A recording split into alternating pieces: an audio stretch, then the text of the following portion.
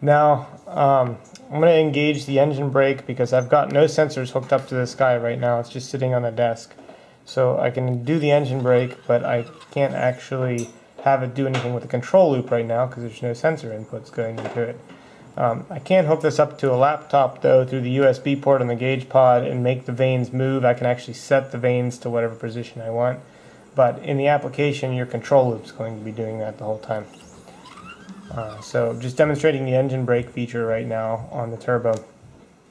So if we back this up, you can see the gearbox modification we made to the top of this thing. That plate contains a uh, basically a, um, um, a machine center for the stepper motor and it goes into the regular VTG gearbox that is provided by Holset on this turbo.